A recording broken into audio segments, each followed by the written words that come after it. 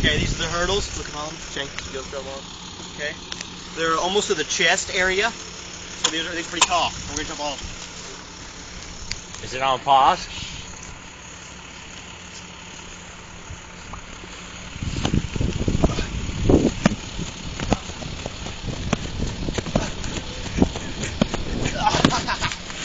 That's hurdle right there.